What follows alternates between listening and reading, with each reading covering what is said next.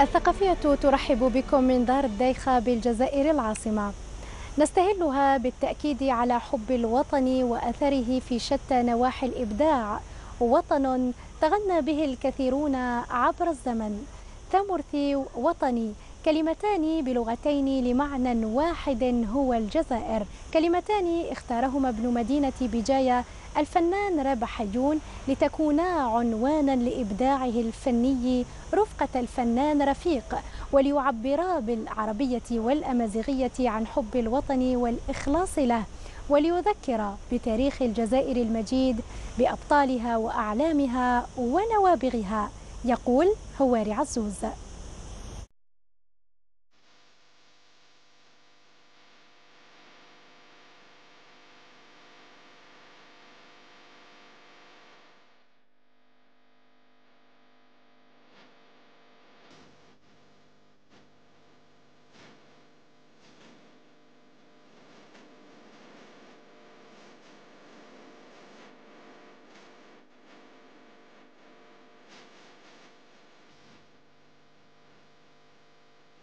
بصوت عذب ودافئ.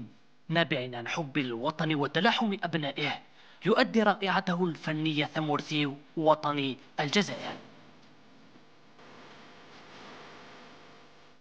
نكيد ذا نزور أنا زور. ونخدم. راه في ثمورثي السك ماشي ثمورثي ومن غني كذا جزائري؟ كرا ديك لا فاميلي ثدرثي ونديز ثدرث يعني تودرث ناديني انت درت تشوذاس تسيدير تكنيقوم كرا لاندينا زعيم راس راس الكثرها ومن كذا جايري شنو في ثمورثي ومازال شنو في ثمورثي وحملها ثمورثي استدير أنا نحمل على ثمورثي يمكن نتعايش زيس.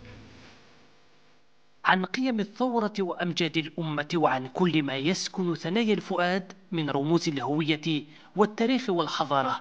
رسائل فنية هادفة يؤديها الفنان الجزائري ربحيون في أداء غنائي باللغتين الرسميتين العربية والأمازيغية.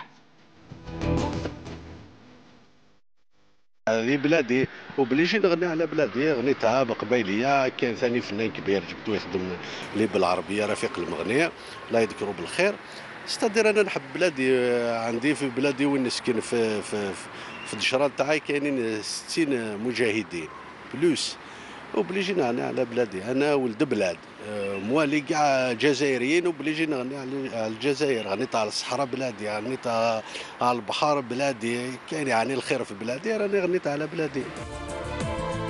بفخر واعتزاز وعن رمز من رموز السيادة الوطنية يروي ألحانا عن تلاحم وطن حلق مجده في الأعالي راية وطنية ترفرف عاليا في مختلف المحافل الدولية.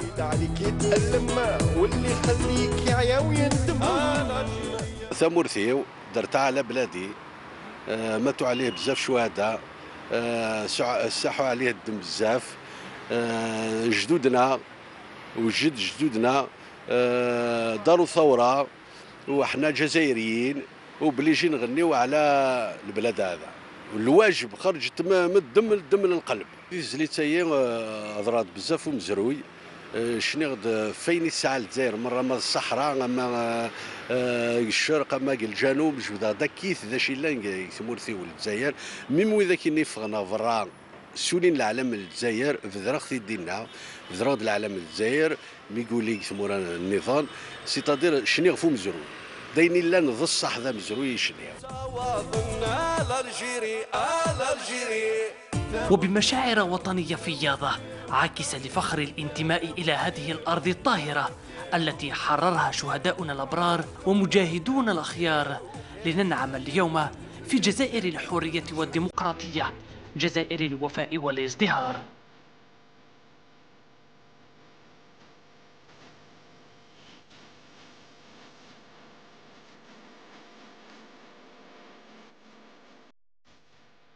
الحظيرة الثقافية للتاسي نجار هي أكبر متحف مفتوح على الهواء الطلق في العالم تتميز بمواقع طبيعية وسياحية هامة. هذه الحظيرة صنفت من بين أحسن الوجهات السياحية لما تتوفر عليه من رسومات ونقوش صخرية تبرز التاريخ العريق للمنطقة. وتزامنا مع تعميم الرقمنة بمختلف القطاعات تعمل الحظيرة الثقافية للطاسل النجار على الرفع الأثري للنقوش الصخرية والتصوير الفوتوغرافي بهدف إنشاء مكتبة رقمية جديدة تضم كل أنواع الرسوم والنقوش الصخرية للمحافظة عليها من الضياع. يقول إبراهيم بالخير.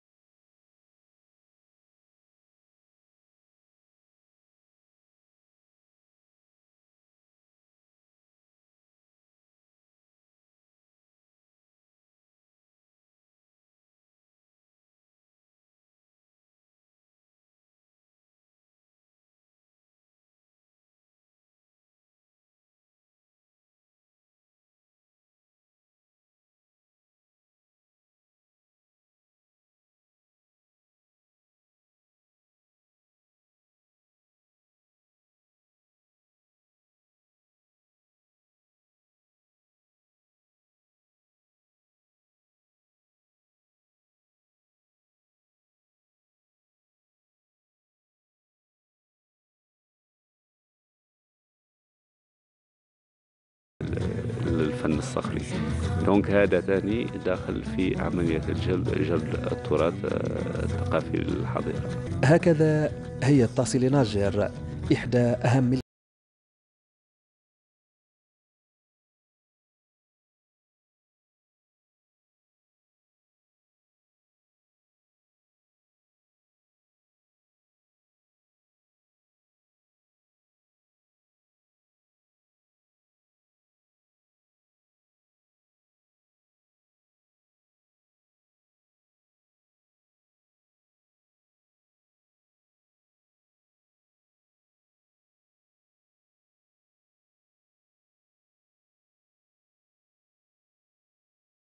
كبير وواسع وموروث أهله الثقافي أكبر من مساحته وعراقته تمتد لقرون. ركيزته صناعة حرفية تقليدية متوارثة وحرفيوها يجتهدون للحفاظ عليها وترقيتها. هذه الصناعة التقليدية وجب ترسيخها وهو ما تعمل عليه جمعيات عديدة.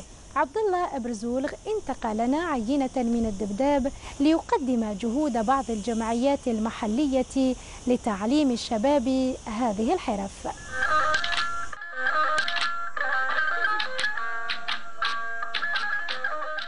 إسبران وإدفار وإس الدكان وغيرها الكثير هي مكونات أساسية للخيمة الترقية التي تبرز أصالة وثقافة المجتمع الترقي ومن أجل الحفاظ على هذا الموروث أنشئت خصيصا بالدبداب جمعيات تنشط في مجال الصناعة التقليدية.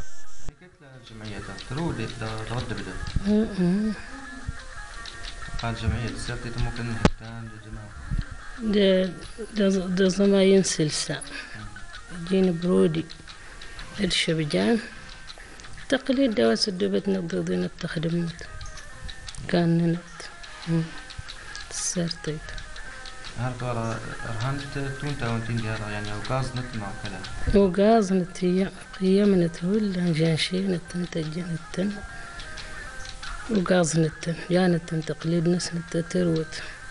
هن نت تجار نت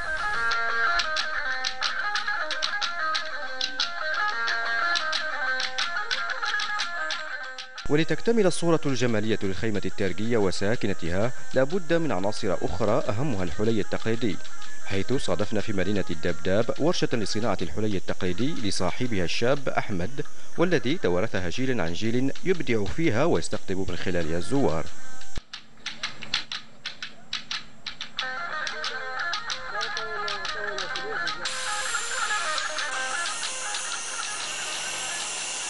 قريب تقول 25 سنة هكا كل أكتر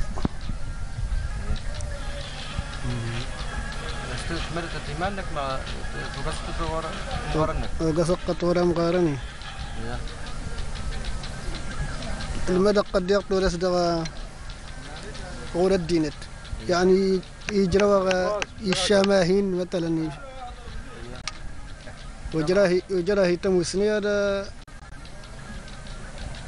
الطابع هند هذا عرف الله سلمدو الصناعة التقليدية بالمقاطعة الإدارية الدبداب واعدة وأفاق الصناعة التقليدية واعدة. هناك برنامج لخلق برنامج خلق ل بالتنسيق مع مركز التكوين المهني بالمقاطعة الإدارية في إطار الاتفاقية مشتركة بين قطاع السياحة وقطاع التكوين التعليم المهنيين لتكوين المرأة الماكتة بالبيت في جميع تخصصات الصناعة التقليدية. من صناعة الجلود وصناعة الحلي والصناعات الأخرى التي تمتاز بها المنطقة. إضافة إلى ذلك القطاع السياحي بالمقاطعة المقاطعة الإدارية الدبداب عبارة عن إن صح القول عن قطب واعد للسياحة لقطاع السياحة. الصناعة التقليدية بكل أشكالها وأنواعها إرث متجذر يرسخ لهوية شعب أصيل وذاكرة للأجيال الصاعدة. هذا ختام عددنا والثقافية تضرب لكم موعدا الأسبوع القادم مع محطات أخرى من ثقافتنا. في أمان الله.